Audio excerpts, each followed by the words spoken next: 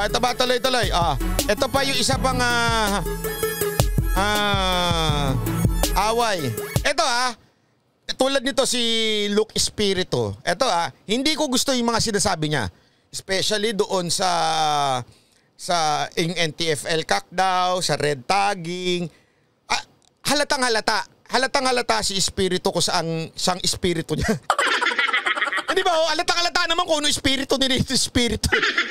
oh. Pero pagdating sa sa argumento, bakit parang lamang siya? Bakit parang ano? Kasi may control siya. Controlled yung ah, usapan nila. Oh. Ito ah. Panoorin nyo ito, panoorin nyo ito. Ito yung buong debate. Naging mainit ang sagutan ni na senatorial candidate Larry Gadon at Luke Espiritu sa SMNI senatorial deba- debate kahapon. Tumaas ang tensyon sa debate nang mapag-usapan ang mga paglabag sa karapatang pantao noong martial law. Tinawag pang bastos ni Espiritu si Gadon nang magsalita ito sa oras niya. Palagi na lang pinopoint out niya, palagi nila sinasabi yung, uh, yung uh, human rights violations ni Marcos. We should not use this forum for a propaganda against the Marcoses. O, binuksan mo ang usapan, wag mo akong pagbawalan. I go by the record, Amnesty International, 3,257 ang pinatay nung panahon ni Marcos. 35,000 ang mga ti- It's my time, wag kang bastos. Wag kang bastos! It's my time. Be 45 seconds. Kung all the time, Nakahanap ng katapat si Gadon, ano? It's my time, huwag kang bastos. Ha? Di tama nga naman kasi ano niya eh, i- i- i- yung kanyang rebuttal yun eh. Bakit mo babarahin? Ah, na, nanginginig na si ano dito eh. I do my rebuttal.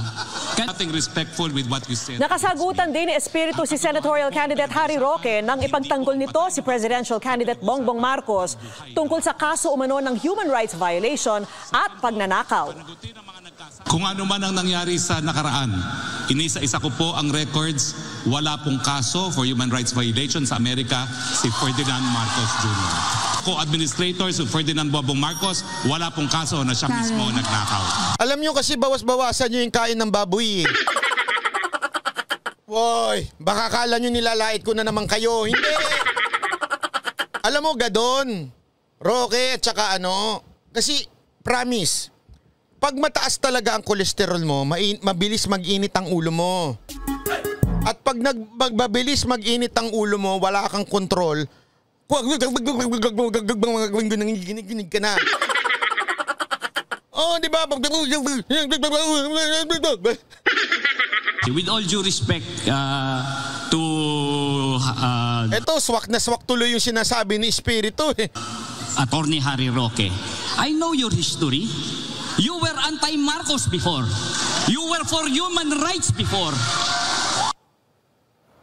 Sinisika pa po naming makuha ang panig ni Bongbong Marcos. Sus, na masumika pa kayo. Subukan nyo.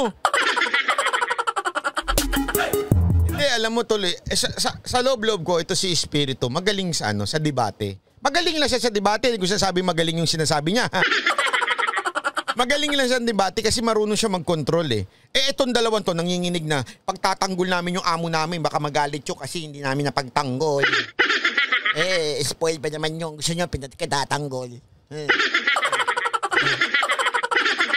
Amo mga kawawa naman yung amo namin. Oo, oo.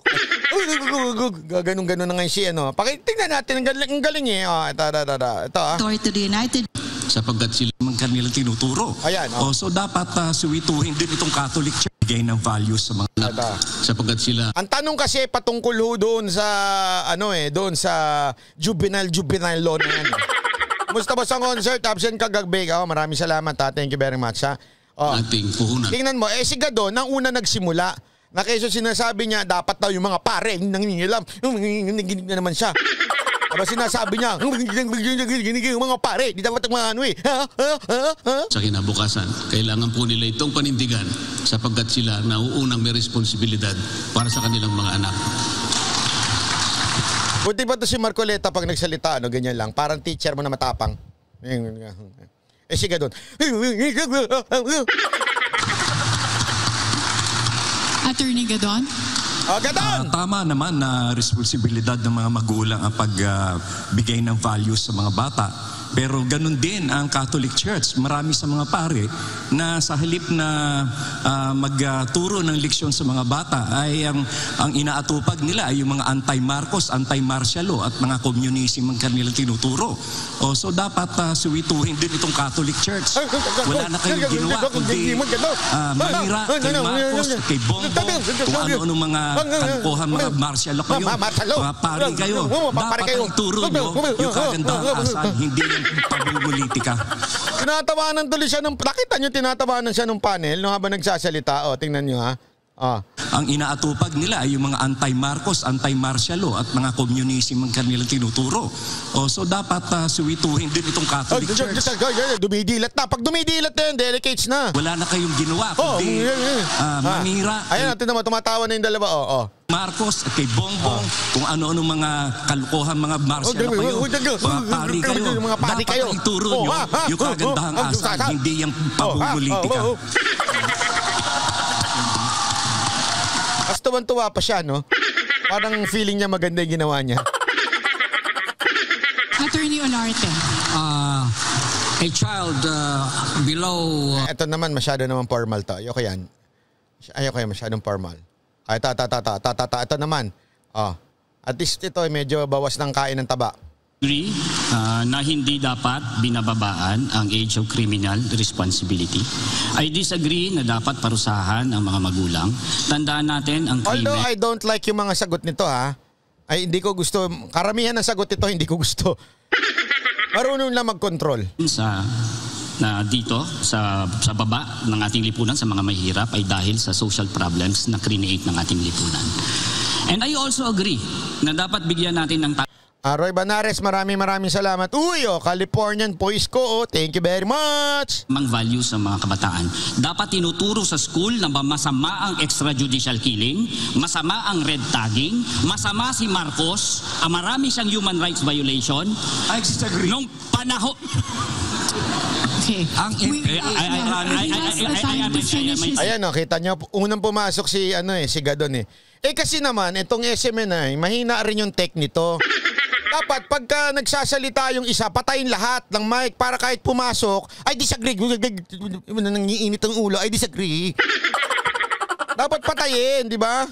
Statement and then we should not- Attorney Gadon, Salamat Francis Briones ha. Ayos naman ang concert. time It's still my time. It's still my time time. It's still my time. It's still my time. this It's still my time. propaganda against the back. It's still my time. It's still my time. We'll go back It's to still my time. Spirito first to finish his 20 It's still my time. It's still my time. Alam mo dapat, alam mo mali eh, mali itong ano eh, itong SMNI. Sa totoo lang ha, yung SMNI, dapat ang ginawa ninyong host diyan si Makagago. Oh, Chika Bell, maraming salamat ha. Dapat si Makagago host diyan para ang ginawa na lang battle of YouTubers yan. Yung puro scripted na nag-aaway-away sila. Diba? Eh, anyway, ganun, ganun naman ang gusto nila yung parang ganung gulo eh. Oh, di ba? Eh, dapat ganun. Next time, SMNI, gawin ninyong host si Makagago, ha? Makagago, ikaw na mag-host dyan sa dalawa na yan. Tapos, diretso mo na sa basketball o sa boxing. Thank you. Attorney Espiritu, Oh, nagduduroan pa, oh. Kita niyo yun, dumuduro pa si ano eh. Oo, Sana pala tumabi yung mga nasa gitna eh. Oh. Ang- uh, Attorney have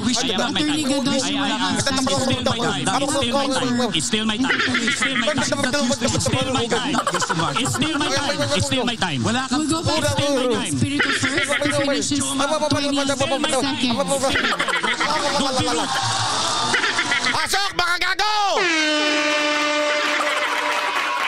Dapat ipinasok si Makagago dyan. Thank you. Ayun, Attorney dumuduro-duro pa eh. you have your 20 seconds left before Dapat- you were interrupted. Dapat tinuturuan natin ang kabataan na respetuhin ang buhay, ang human rights, respetuhin ang buhay na Ayun, sabi nung iba, para sa ratings kaya di pinatay ang mic. Oo nga naman. Tama nga naman. Pwede yun, pwede yun, pwede yun. Siguro, pinagtanggol na naman ito. Sigurado ako, pinagtanggol na naman to ni Mike Abe, no? no? To si Gadon. Oh, pusta tayo. Ay, eh, to the rescue lagi yan, eh, si Gadon, ay si Mike Abe. Oh, ewan ko ha, tingnan nyo, kung meron na naman siyang to the rescue dyan. Si Mike Abe, laging meron opinion yan eh. Kakampi talaga eh. Pagkakakampi ah, kailangan niya ipagtanggol eh. lahat at hindi dapat pumapatay ang ating mga gobyerno. Ah, mali naman yan. Hindi naman ho lahat. Ikaw naman, masyado ka namang UA. At hindi nagnanakaw ang ating gobyerno. Alam mo, dapat nandiyan ako eh. Pasasagot na lang, hindi, masyado ka namang OA. Pumapatay, di naman. Wala namang ganun. Sige, invento ko lang.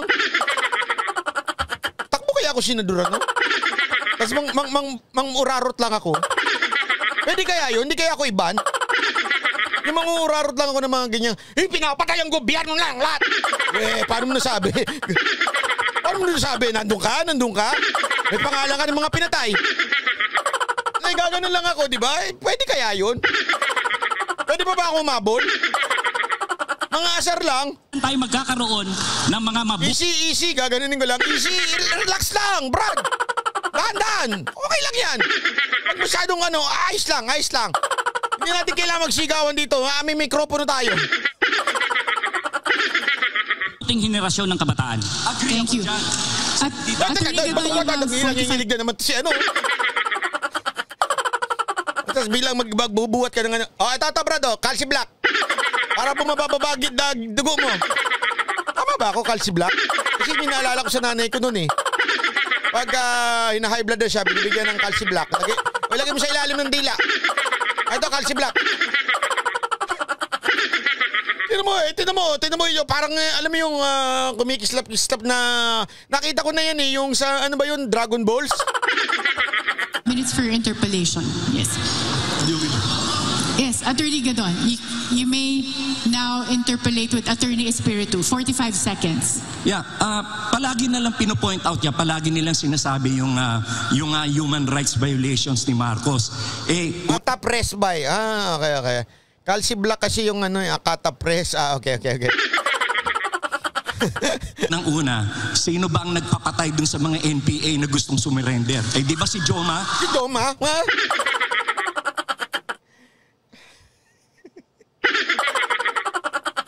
Napunta sa NPA yung usap.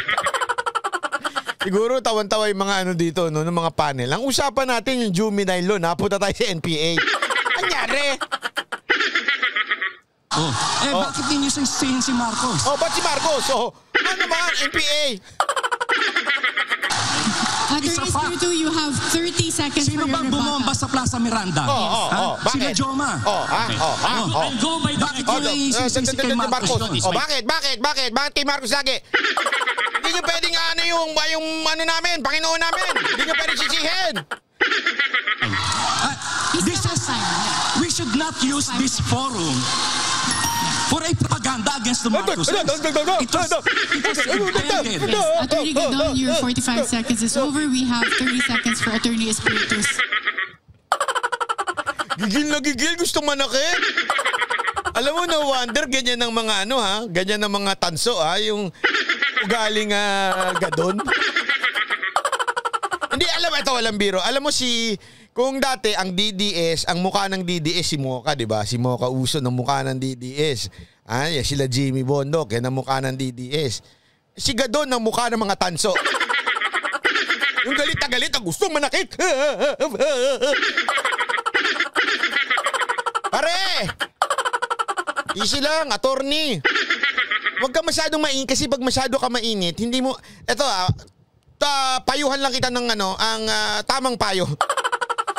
Pag masyadong mainit ang ulo mo, pag masyado kang ah, intense, hindi mo na na-relate yung mensahe mo eh. Ang nare-relate mo lang yung damdamin mo. Ha? Nangunguna yung damdamin mo kaysa sa mensahe mo. So ang nakukuha lang ng tao ngayon, yung damdamin mo, hindi yung mensahe mo. It it it takes only one thing to to to absorb by people. So whether your emotions or your your point. At this time, ang nakiku- nakukuha lang ng tao, emotion mo. Hindi ba? Oh, kaya galit na galit eh. Sabi di ba, dapat nandyan si Kibuloy para sumigaw siya ng stop! Tama, tama. Grabe, no? Rebuttal. O, binuksan mo ang usapan, wag mo akong pagbawalan. Oo. I go by the record, Amnesty International, 3,257 ang pinatay nung panahon ni Marcos. 35,000 ang mga... T- It's my time, wag kang bastos. Oh, wag kang bastos! It's my time. 35,000. 30 35,000 ang tinor Natatawa na yung dalawa. Oh, sabi nila, magtabi kaya kayo. Kesa yung nagduduroan kayo, hawakan mo nga sa tenga. Sure. 70,000 Alam mo kaya ako natatawa eh. Ito ah, kaya ako natatawa doon sa pagkakaisa ni Bongbong Marcos. Walang biro. Bakit ho? Eh kasi, kinuha niya si Gadon. Si Gadon is very polarizing pagdating sa tao. Lagi na lang si Ito walang biro ito. Alam nyo, may mali sa mga Aquino. May mali sa mga Dilaw. Ah, pero may mali din naman ho kay Marcos. Ang nangyayari sa kanya, basta dilaw, dilaw. Basta pink, mali. Hindi ho ganun dapat. Sobrang polarizing yung ganun eh. Hindi, basta lahat ng dilaw, mali. Pa lahat ng uh, makaloyalist, tama. eh kaya nga tingnan mo, paano ninyo ma, may babaha, may papakalat yung idea ni Bongbong Marcos na unity, uni, unification. Eh kung ang kasama ninyo senador eh very polarizing. Oh, very ganyan. Ibig sabihin ng polarizing talagang eh eto dilaw, eto puti, ganun. Oh, eto dilaw, eto pula. Hindi pwede. Sabi ng iba, basa na yung lawa yung mga katabi nila. Oo nga, nahawa na siguro. Dapat nag-RT-PCR yung mga katabi, no? Hindi, dapat lahat yan nag-RT-PCR eh. Para kahit na magduraan sila. Kasi lawa yun, tumatalsik na yan eh. ang kinulong. It's a matter of record. Thank you. 30 seconds for rebuttal. Noong nagkaroon ng kaso sa Hawaii, yung 10,000 human rights victims, nung ini-implement nila dito, yung nag-file sila ng petition sa, sa ah, RTC, wala silang naipresentang ebidensya. Pagdating sa Court of Appeals, wala rin. So asan yung sinasabi nila yung human rights violations Dismissed yung kaso. we have interpretation from Attorney Roque. That would be 45 seconds. Oh, ito naman si Roque, tatanggol din ha. Siyempre, hindi pe pwede. Kailangan resbakan. Kung ano man ang nangyari sa nakaraan, inisa-isa ko po ang records. Wala pong kaso for human rights violation sa Amerika si Ferdinand Marcos Jr. Inisa-isa ko rin po ang mga kaso na decided, decided po ng ating Philippine Supreme Court. Totoo po, co-administrator si Ferdinand Bobong Marcos, wala pong kaso na siya mismo nagnakaw. Can I have Attorney Um, dito sa part na to, medyo ano to ha, issue pa ito. Ina-argue pa ito eh, itong usapin na pagdating sa yung mga kaso na dapat eh mananagot yung buong family. Ina-argue pa ngayon yan ha. Sabi nito ni RT Coms, itong si ah, ah, Attorney Espiritu by, by my conviction, though I, I don't necessarily agree with everything he said, but but Gadon and Rocky to shame. Sa totoo nga, sabi ko nga sa inyo eh, hindi ko sinasabing tama yung sinasabi ni ano ha, ni Espiritu karamihan na sinasabi niya ayoko. Karamihan ng stand niya ayoko. Kaya lang in terms of uh, uh, control, nag nagmukhang ing-ing yung kalaban niya. Kasi siya may control eh, 'di ba? Si diretso yung sinasabi niya eh, wag kang bastos. Ako nagsasalita, akin naman talaga yung floor. Ibig sabihin nun, kanya yung ano, yung yung time na yun. So sana nga, sabi ko nga sa inyo eh, kung si Gadon na lang sana eh medyo hindi emotional, hindi yung pagalit lagi, tama naman si Gadon eh. May point naman niya. eh. Kaya lang, nauuna yung emotion ni Gadon, kaya tuloy nagmumukha siyang pikon. Eh, ang usapan dito, pikon talo. Di ba? Pikon talo ho yan. Lagi ho yan, kahit sa ang argumento ka, basta pikon talo, pikon, talo yan. Kahit tama pa yung argumento mo, basta napikon ka. Ang magandang ginawa ni sana ni Gadon, pinatapos niya. O, tapos ka na, ako naman. O, di ba? o, di ba? Eh, kita mo, anong ginawa ni Cayetano? Nung nagsasalita si Marcos, ano sabi niya? Oh, pati ba naman yung oras ko, nanakawin mo.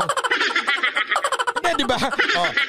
Ibig sabihin, may, may ano yung tao, merong, merong ah, control sa kanyang emotion. Eh si Gadon, galit na galit, wala na, wala na naintindihan. Ano na lang naintindihan? Bastos ka Gadon eh. Kasi nagsasalita pa ako. Yun naman talaga ang tama. Bastos naman talaga siya. Bakit? Nagsasalita pa eh. Patapusin niya, tsaka siya papasok. Di ba? Although, again, hindi ko gusto ang mga sinasabi ni Espiritu. Para linawin lang ha. Okay? At saka ito naman sinasabi ni, ni Roque, eh hindi pa uyan kasi ah, administrator si Marcos eh doon sa part na sinasabi niyang may mga nakaw na yaman ng si Ferdinand Marcos Sr. Eh, ang sabi, sabi nung ibang argumento na sabi ng ibang batas, ay ibang batas, ibang abogado, eh ang dapat magbayad na eh yung administrator which is si Bongbong Marcos na. Ibig sabi Bongbong Marcos Jr. Ibig sabihin siya ang meron ng liability, meron na siyang utang. Yun ang sinasabi nung iba argumento ha. Na ngayon pinaglalabanan pa rin yan. Espiritu has 30 seconds for a rebuttal and we have a question. Ang ayoko lang dito kay ano, kay Roque, nawala na yung prinsipyo niya. Pasensya na ha, kakilala ko ho ito. Ah, hindi naman ako kaibigan, hindi ko kaibigan, pero nakilala dahil kay Mocha. Pero hindi ko gusto yung pagbaluktot niya sa prinsipyo. Biglang gumanon eh. Dati human rights, tapos biglang kumampi sa mga Ma- Marcoses. Eh, malabo yun. Kasi nga, alam mo yung pinopoint ni Spito, napakinggan ko isa niyang, isa niyang interview sa TV5 eh. Sabi, sabi nga ni Espiritu, even if kunwari si Hitler daw, di ba si Hitler nag-commit ng kasalanan, okay? Tapos yung propaganda machine niya, nas, ang pangalan nun, nakalimutan ko na yung name niya eh. Si, Gob, ano ba yun? Gorbel, Go, basta, yung uh, Gorbel ba, ah, yung propaganda machine ni, Hit, ni Hitler, eh, sinasabi niya na hindi porket hindi ang nagpata, nagpapatay eh yung si ano, eh hindi kasangkot yung ano niya, yung kanyang PR. So dapat kasama yung kasi buong government yun eh. So yun yung sinasabi ni Espiritu. Na totoo naman, tama rin naman. Na kahit ba sa, si Gobel, yun, si Gobel. So kahit naman sinasabi ni pangalan nito ni Espiritu na kasalanan ng ama ay dapat yung since kasama sa pamamahala at that time ay yung pamilya, totoo naman, 'di ba? Yung pamilya, sino si Imelda, ano ang trabaho niya, 'di ba may pamamahala din siya? So yung buong family talaga. So dapat eh meron ding hindi ko sinabing pareho, pero dapat eh hindi mo masasabing pareho na moral authority. Legally, okay, legally hindi. Kasi yung tatay yung nagkamali o tatay yung nagkasala sa bayan. Yun na sinasabi ng ano ng ah, ng ibang tao, hindi dapat managot ang anak. Okay. Pero morality, iisang pamilya yan eh. Magkasama yan eh. Na mahala silang magkakasama nun. So dapat may pananagutan din. 'Di ba? Yun yung sinasabi nitong si Espiritu. Yun yung sagot niya sa News 5. Yun. Si yan si Go Go Go Go Go Bells. Okay? Again from Dr. Thank you. Uh, with all You have you have the time. You have the Ah. opportunity, Attorney Espiritu. Sana kung apo, wala nang kinalaman, bata pa. Eh kaya lang nung na time na yon eh, oo nga, si Joseph Gobel nga, pa, tulit po. Joke lang po, ha? Ayun. For a 30 second. my, my microphone is being uh, silenced all the time when I do my rebuttal. Hindi oh, sumisigaw lang talaga yung isa. Hindi naman hinihinaan yung microphone mo. Sumisigaw lang talaga isa. Can I be able to continue Yes, without attorney. my microphone being turned off? Yes, Attorney Espiritu. Okay, with all due respect uh, to uh, Attorney Harry Roque, I know your history. You were anti-Marcos before. You were for human rights before. Your life, you spent your life against the Marcoses. You work for human rights. And now, Although, ang sabi nung iba na naandoon, pinatayan daw na mikropono si Espiritu. So, medyo sablay yun sa SMNI. Kung totoo yun ha, hindi natin sure. Pero sabi ng mga naandun, pinatayan daw na mikropono si Espiritu. You were given a Senate spot under the party of Bongbong Marcos. Now you cry hallelujah and praise Marcos. Yo! Okay. Thank Anong kinaugnayan nun? Hindi, joke. Joke lang. you, Attorney Espiritu. Pero tama yung point niya. Pagkatapos niyang banat-banatan nun si Marcos, ngayon, yung anak, grabe siya makapuri, makasayaw. Ang sagwa eh, di ba? Ang sagwa lang. Ang sagwa. To- Totoo lang. Since you alluded to Attorney Roque, we will give him 30 seconds for a rebuttal. And your, just for the information of our candidates, your microphones will be silenced when others still have time. So that's something that they do to give others opportunity to speak. So Attorney Roque, since you have been alluded to, you have 30 seconds for a rebuttal. There was nothing respectful with what you said against me. Ang katotohanan po ang pinag-uusapan, hindi po ang patay na Marcos, ang pinag-uusapan ang buhay na Marcos. Sa akin po, panagutin ang mga nagkasala, pero yung mga hindi po gumawa ng kahit anong kasalanan, wag po natin idamay sa sisi. Sa, sana, alam mo, may follow-up question. Sana tinanong na lang ni ano, ni Espiritu. So are you saying may kasalanan yung ama? Ganun lang. So are you saying ang ang ang may kasalanan lang ay yung patay na Marcos? Sana tinanong niya ng diretso, no?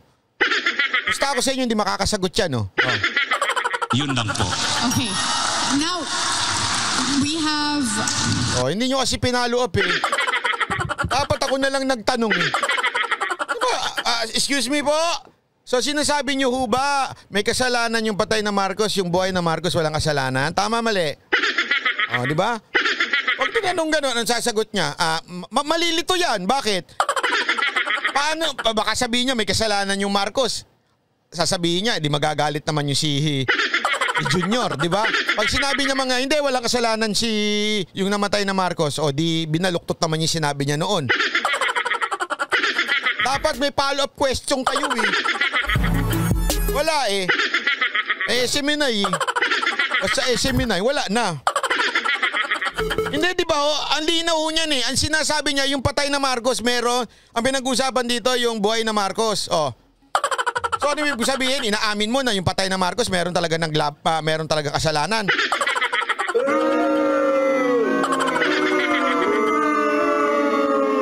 Oh, ah, eh, SMNI. Ah.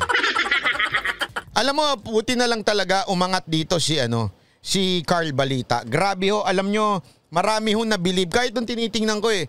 Eh dito nga ako nag dito nga ako na, na ano eh, nawiwindang eh. Kasi dun sa comment, habang live nanonood ako, nagko-comment pa nga ako eh. Binubuisit ko yung mga tanso dun. Nagko-comment ako doon, tapos nakikita ko doon, ang sinasabi nila, uy, okay pala si Carl Balita, uy, okay pala si Carl Balita, uy, ayos pala to si Carl Balita, gumaganon yung mga tao. Tapos bigla may hihirit, hindi, kay Isko yan. ah, hindi, hindi, unity team tayo, unity team. hindi, a- alam mo sa totoo lang ha, natatawa ako eh. Pa- gusto nyo umasenso Pilipinas, di ba? Manuel Gonzales, maraming salamat. Gusto nyo umayos ang Pilipinas. Pero yung utak nyo hindi maayos. Bakit? Basta unity maayos. Pag hindi unity hindi. Kalokohan ho yan. Kahit to ako personally, sabi ko nga sa inyo even kasama ni Isko, kasama ko yung iba na doon sa pumunta sa Maguindanao. Hindi ako agad-agad na nagsabing, oh gusto ko ito, gusto ko ito, gusto ko ito. Bakit? I have to study kung sino ba talaga yung maayos. I will not give my my endorsement. Eh, I'm not saying importante endorsement ko ah. Wala ako sinasabing ganon. Pero hindi ko siya i-endorse dahil lang ay kasi kasama siya ni Isko eh. Di ba? Ay kasama siya ni Isko, ka-team siya ni Isko. So kailangan ko na siya endorse, di ba? Yung mga ganyang klasing utak, utak biya ang tawag diyan, yung maliliit na utak. Kaya yung mga nagko-comment doon na, hindi, hindi yan, kay Isko yan eh, unity team tayo, unity team. So, ibig mo ba sabihin yung mga palpak sa unit team, iboboto mo kasi unit team ka? Na mga tumatakbo senador? Eh may mga sab- may mga senador doon at palpak eh. Hindi ko na lang papangalanan. Pero ang daming palpak doon eh. Di ba? Eh dito, eto ah, again, ako ngayon sa sa sa totoo lang, ang mga nagugustuhan ko pa lang ha, as of now ha, sa sa timis ko kasi hindi ko pa nakakausap yung iba. Hindi ko pa talaga malalim na nakakausap. Okay? I have to know them first para masabi kung gusto ko talaga sila. I'm not saying hindi ko sila gusto ha. Pero ang talagang nakikita kong maayos si Carl Balita at saka si Castriciones. Kasi si Castriciones, eh gusto niya sa federalism. Eh malaking bagay ho sa akin yun. Kaya gusto ko yun. Okay? Si Carl Balita, feeling ko ramdam niya yung nasa ilalim eh. Ramdam niya yung mga tao. Yung iba, hindi ko pa masyadong nakikilatis. Hindi ko pa masyadong ano, ah, nakakausap. So hindi ko pa if eventually pag nakausap ko po, ah, pero doon na lang sa unit team. Grabe naman kayo. Yun lang. Basta unit team, iboboto nyo na. Ang, ang tangat, sorry ah. Hindi, ako, halimbawa, si Marcoleta, gusto ko naman nasa unit team. Si Mark Villar, gusto ko naman nasa unit team. Diba? Yes. Pwede na Before natin we, so Oh, ito, ito. Pakita ko lang ha. Yung kanina naman, ang ganda nito eh. Ang ganda nito. Pa panoorin natin ha. I-react lang natin ng kapiraso. Ang ganda nitong ah, kanina naman may senatorial pa rin eh, part 2. Di ko nga alam ba't nandito pa rin si Panelo tsaka si ano eh. May isa pang naandi dito na umulit eh. This is Mababaw talaga mga tanso. Tama kayo dyan. Ganyan no sila eh. Basta unit team tayo, unit team, straight tayo. Ano kayo, kulto? SMNI News Channel. Truth that matters.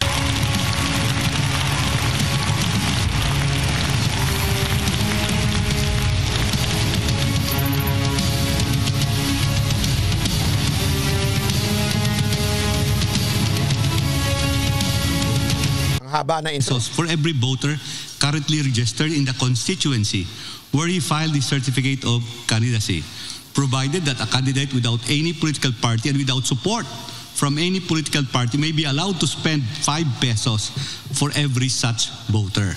And for political parties, 5 pesos for every voter currently registered in the constituency or constituencies where it has official candidates. Currently po ay merong ah, pending Senate Bill. Ang tawag po dyan ay Senate Bill 810 na in-increase. Nagkaroon po ng ah, uniform rate na 20 pesos per voter ah, depende sa constituency ng tumatakbong kandidato. Uniform, 20% per voter. Ngayon po, meron tayong 67 million registered voters. Ang katanungan, katanungan ko po, dahil po kayo ay nasa Senado at ang ah, primary role ng mga senadores ay magpasa ng mga batas, kayo ba'y payag na papalitan na ito? Itaas na natin ang ating ah, ah, limits ang gastusin sa bawat ah, kandidato per registered voter? 20 pesos. Yes or no and, and why? Thank you, Attorney Rolex. We start with Secretary Manny Piñol. Bigyan lang na natin ng chance ito ha, ng isang ano, para makita ninyo kung ah, tinatanong kung dapat bang iangat yung 20 pesos kada ano bot, botante. Ha? Ako eh, hindi ako covered dyan na wala akong pambili ng ano eh. Wala akong paggastos na ganun eh. But the reality, uh, Congressman Rolex actually is this. We talk of 20 pesos per voter. Reality on the ground is that votes are being bought for 500, 1,000, 2,000, 5,000 pesos. And this is precisely the reason why there's so much corruption in this country. Because every politician will have to save money for the next elections so that he'll be able to buy votes. I think instead of Alam mo, okay sana ito eh. Maayos din to si ano eh, no, si Pinyol. Hindi kasi tama yung sinasabi niya, yan ang problema natin sa Pilipinas eh. Gastos ng eleksyon. Eto nga eh, party list pa lang eh. Eh, Ito, paulit-ulit ko na sinasabi sa inyo eh. Party list pa lang naluluha na ako eh. Halos yung ilang taong kong pinag-ipunan, eh talagang ubos. Dahil lang sa ano, eh wala ka naman choice, kailangan mo talagang gumastos. Eh kasi, or else, hindi makikilala. 'Di ba? Hindi ma ano ma how much more pagka senador, 'di ba? Ang hirap po. Kawawa ho talaga yung mga hindi famous na hindi senador. focusing on the increase on the allowed expenditure per voter. We should focus actually on how to eliminate vote buying because this is where the massive corruption in government starts. Agree. Thank you. Tama, diyan nagsisimula ang talagang korupsyon. Saan? Sa pangangandidato pa lang. Imaginein mo. Paano nila babawiin yung ganong kalaking pera at paghahandaan yung susunod na eleksyon? Isipin niyo yan ha. Paano yung susunod na eleksyon? So, kailangan nilang kumulimbat. Di ba? move on to Secretary Bellica. Um, isa ho sa pinakamalaki problema natin yan sa korupsyon dahil ang mga politiko na nanalo nagbabawi after election. I think election should be state-sponsored para hindi na Yan. gumagastos sa mga politiko kung sila ay mananalo at magkakaroon ng pantay-pantay na oportunidad ang lahat ng Pilipino, ilatag ang kanilang isipan at ilatag ang kanilang mga nagawa na para sa kagaganda po ng ating bayan. Kayo po ay sumasang-ayon doon sa sinabi ng isang presidential candidate, si Leo de, de Guzman. Nasabi niya ang gobyerno dapat ang mag-bankroll ng kampanya ng mga tumatakbong presidente o vice-presidente. Um, without knowing that that was his um, opinion, I agree with that statement dahil po, you know, there are good candidates um, that are not popular and there are popular candidates that are corrupt or bad for our country. However, hindi makilala at hindi marinig yung mga kandidato mahuhusay dahil walang pera and it is to the detriment of our country. Pwede po mamalaman na Commissioner Belica, sa ngayon po, mula February 8, kung magkano nang ginasto nyo? Hindi ko po alam, sir, dahil sa totoo lang, sa mga posters na nakikita ko sa lansangan ngayon, ni Oh, totoo to. Wala, wala ang biro. Ah, si Greco hindi ho gumagastos yan. Kaya nga panay ang ano niyan eh. Panay ang padala lang niya ng ah, mga link, ano. Kasi nga, nagpapatulong siya bilang kaibigan ko. Nagpapa kaibigan po natin yan, kaya nagpapatulong ho sa atin yan. Hindi ho gumagastos yan. Kasi nga, naniniwala siya na yan na magiging root problem ng ng ah, mga senador. Paano sila babawi in the future? 'Di ba? Ay naku, sabi ko sa inyo, delikado kaya mag-ingat tayo doon sa mga nagsasabing ano, ah hindi sila magaganyan pero grabe yung pera, gumastos. Grabe yung mga mga ads. Naku po, sa ads, ako matatanggap ko pa yung mga tarpaulin-tarpaulin eh.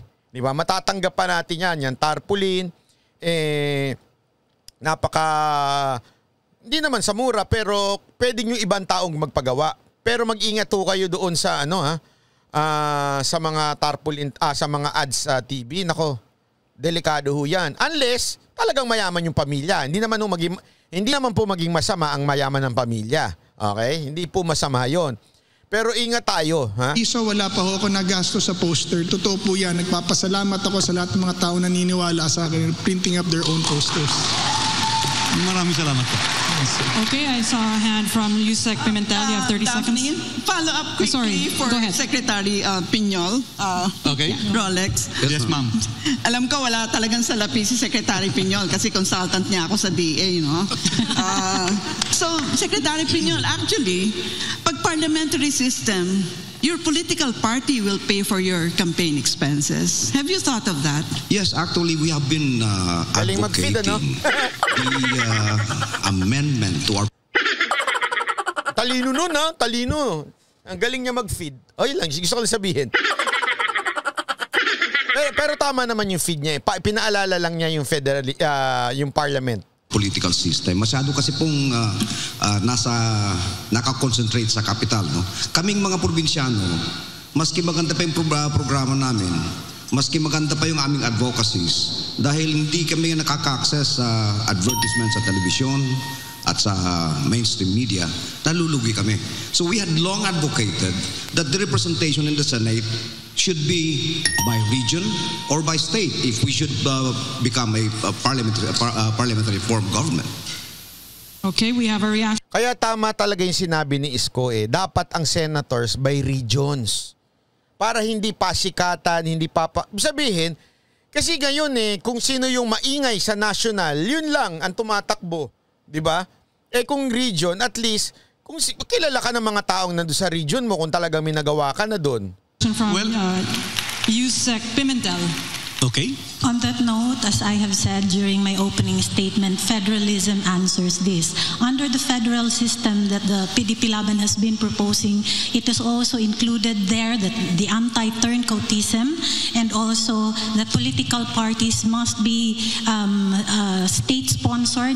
This is also to level up and two-party system. Ang daming nagsasabi niyan ano, na sana state-sponsored ng election. Ibig sabihin nun, talagang yung gobyerno na gumagastos kung sino yung paano yung mga kandidato, hindi katulad. Kaya lang, iniisip ko, kasi yung sinasabi nila paulit-ulit eh, state-sponsored. Ibig sabihin, gobyerno ang gumagastos sa election. Eh, what if yung gobyerno na yun, eh, may pagkiling? 'Di ba? Eh, di kawawa yung magiging opposition. 'Di ba? Ako ko, I, I don't know how they're gonna do it na magiging ganun. Kasi tama nga naman, sana gobyerno na ang gumagastos para mangampanya mga ano, para hindi na problema. Pero paano kung yung gobyerno mo ay tiwali? Yari. as well is better so that there will be um, loyalty among the candidates, loyalty among the people, and loyalty among the politicians. Secretary Pinyol, sir. According to RA 7166, ang isang partido politika ay maaaring gumastos ng limang piso bawat butante. At kung i-multiply po natin by 67 million registered voters, ang total po niyan ay 335 billion pesos. Ang Partido Reforma ba hindi Hindi. hindi ba kayo tinulungan kasama niyo si Doktora Hindi. Wala, kanya-kanya kaming gastos eh. Yung aking kinakampanya, kawayan eh. Seedlings ng kawayan, no? Ang uh, pinamimigay ko sa mga mga probinsya para lang makilala ko as a, uh, an environmental advocate and as a uh, an advocate of uh, the greening of the Philippines. No? Uh, honestly, this is one of our uh, uh, problems actually. Kaming mga mahihirap na kandidato dahil wala kaming access sa uh, advertisements and media, we could hardly get across. In fact, that's the reason why I believe even if uh, we have been advocating for good programs in government, even if our track record is unblemished by corruption, nasa tail end kami ng survey. Thank you. Let's hear from Dr. Padilla. You were mentioned. Uh, agree ako kay Secretary. Totoong sinasabi niya talaga, no? Ah, yung aming gasto sa kanya-kanya. Alam mo, hindi ako nakaka-advertise sa TV. Dito lang sa SMNI ang kaya ko. hindi ko nakaka... Biro mo naman sa... Biro mo naman sa sa isang malaking stasyon, 30 seconds, 643,000. How can you afford that? Kung hindi ka, you know, Pakiulit po. 643,000 643,000. 30 seconds. for a 30 second advertisement. Kasama na yung 50% discount ha. Eh, di ko alam, pero yun ang rate na binigay nila. Nandun po yan sa COMELEC Resolution 10730. Anyway, I'm just telling you, ganda ng bayaran. So, how can a candidate now who is not who never stole money, wala naman siyang pork barrel, wala naman siya, ayaw niya kumuha ng pera kung saan saan mga malalaking ano, how can you afford that? Thank you, Dr. Padilla. Let's move on to Secretary Panelo. We would like to hear from you. ang katotohanan talaga, eh, hindi po nasusunod yung batas na yan. Yung mga mayayaman, may malalaking pera, may mga koneksyon, talagang gumagastos sila. Kaya matagal ko na pang iniisip na kailangan baguhin natin ang election law with that, with that particular matter. For instance, para mabigyan noon ng oportunidad kami mga kandidato, lahat ng kandidato, obligahin po natin ang mga telebisyon at radyo na pagdating ng eleksyon in a certain period, kailangan lahat sila ay libre. Ganun din po ang mga dyaryo para maging pantay-pantay. Otherwise talagang mahihirapan no yung mga walang pera. Pero paano kaya yan? Ano? Ang hirap niyan, libre lahat. Sa dami ng kandidato, paano kaya yun? Aasa na lamang sa suporta ng kanilang mga kaibigan, personal, at eh, paano kung wala? Eh talagang walang mangyayari sa kandidatura ng kahit na sinong tao na salat sa pera. Hindi po nasusunod yan. Baguhin na po natin ang election. Pero tama yun ha, kasi okay yung idea na yun. At least kung walang gastos sa mga politiko. Isipin nyo, eto, imagine niyo lang, I don't, I don't know how to do it ha, pero ima- imagine niyo walang gastos ang kahit sinong kandidato sa advertisement. Oh, meron silang slot sa TV, ah, ah, sana may ganun eh. Isipin mo ha kung ganun. Eh di wala nang kahit papaano wala na mababawasan ng korupsyon. Bakit? Hindi na kailangan mag-ibon ng pera yung mga kakandidato para manalo, di ba? Ang ganda sana eh. Deputy Speaker Marcoleta. Sa totoo lamang po ay uh, ang nangyayari talaga, uh, marami pong funders ng mga political candidates. Ito ay open secret po yan kahit kanino kayo magtanong. Ang tinitingnan po ng mga funders na yan, lalo na yung mga malalaking kumpanya, titingnan nila yung kung sino yung uh, nauuna sa survey. Sila po talaga ay hindi gumagastos. Halimbawa, nasa Correct. Correct. Ulit-ulitin natin. Correct. Tinitingnan nila yung survey. Kung sino yung mataas, yun ang gagastosan nila. Kasi nga, pustahan yan eh. Ay, ganito ginagawa sa Pilipinas. Ikaw, negosyante ka. Sino na ba panalo? Sino na lalamang? Yung lamang, bibig... Halimbawa lang ko ito ah, top 3. Okay? Bibigyan ko ng 50M yung isa. Yung top 2, 30M. Tapos yung top 3, 20M. Bakit ganon? Eh kasi pag nanalo yung isa, yung 50M, ay yung number 1, eh malaki bawi ko dyan in the future. Dami akong proyekto dyan. Tapos, pero hindi pa rin ako hindi magbebet doon sa pangalawa at saka sa pangatlo. Bakit? Eh kung maka, manalo yon. At although hindi nila alam kung magkano yung binigay sa, sa kanila ha, hindi nila alam yon. Walang nakakaalam niya kung hindi mismo yung kandidato. Kaya believe talaga ako kay Yorme kasi yung ibang mga kandidato, sila mismo tumatanggap. Hindi naman no bawal yun eh. Talaga naman tama yung pagtanggap. Ibig sabihin walang illegal doon. So sila mismo, walang nakakaalam niya kundi sila. Hindi naman nila sasabihin sa ibang tao yan, definitely, di ba? So, itong mga kandidato na to na pinustahan ng isang mayamang negosyante, itong tatlong kandidato na to, may bawi yan in the future. Yan ang totoo niyan. Pero ang pinakamalaki nilang pinupustahan yung number one sa survey. Kaya yung survey, alam na this. unang lima kayo o unang walo. Wala pong ah, relasyon itong kung limang piso, kung dalawang piso. Kung pare-pareho po sana yung economic standing ng bawat isa, baka sakaling magkaintindihan tayo rito. Pero kagaya ng sinasabi, sa limang piso lamang po, eh, 300, 355 billion at 355 mi- 335 million po ito. Saan naman kamay ng Diyos kami kukuha ng ganun? Lala, kahit na po lagyan mo ng 20, ito po 1.2 billion, lalo na pong hindi namin kaya yon. Sa makatwid, hindi po importante kung ah, magkano yung ah, magagastos. Ang importante sana, kami magkaroon ng pagkakataon kahit hindi kami gumastos ng ganun. At kaya, alam mo ito, walang biro ito ah. Kaya ako, eh, sabi ko naman sa inyo, pag pangit, binubu natin. Pero pag maganda, pinapalakpakan natin. Kaya ako nagpapasalamat at pinupuri ko tong SMNI this time. It's because of what they did sa Senate debate. Kasi oh, dito sa Senate debate, libre. Libre ho na napapahayag kung sino yung mga senador. Libre ho nagkakaroon sila ng pagkakataon na maipagtanggol nila o ma maibigay nila yung plataforma nila. Maraming salamat, SMNI. Sabi ko nga sa inyo, pag may magandang ginawa, pinupuri. Pag pangit, binubu. At this time, magandang ginawa ng SMNI. dahil Sila ang unang-unang nagbigay ng pagkakataon sa mga tumatakbong senador na mabigyan ng slot. Ayun lang. Maraming salamat. Makilala rin kami as equally competent candidates ah, sa lahat ng pagkakataon. We have a reaction from Mr. Ding Diaz.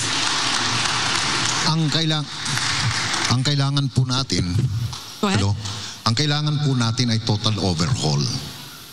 Diyan po tung- tungkol sa mga batas tungkol sa eleksyon. Tama naman po yung sinasabi ni Secretary Panelo.